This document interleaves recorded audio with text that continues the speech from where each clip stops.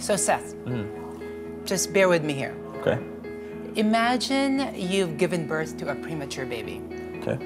You need an incubator, right? Definitely. But you have no money Okay.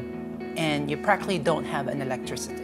That's, yeah, I mean, millions of people face that same predicament all the time. So, I want to show you this film. Okay.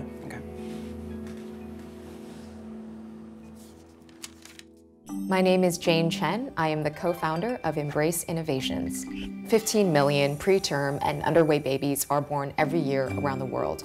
3 million babies die in the first 28 days of their life, and many of those babies are born in developing countries where they don't have access to incubators.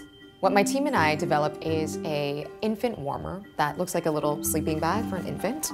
The magic is a pouch of what's called a phase change material that has a melting point of 98 degrees Fahrenheit, and once melted, it maintains a constant temperature for up to eight hours at a stretch. You simply place it into the pocket here, and it creates a warm microenvironment for the baby. So we are just launching a line of consumer baby products for the US market. They're called Little Lotus, and for every one of these purchased, a baby will be saved by this product in a developing country. So through this one-to-one model, we hope to reach a million babies over the next five years.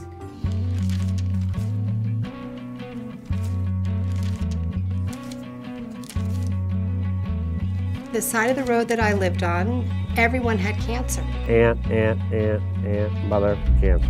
He said that this was not genetic but environmental.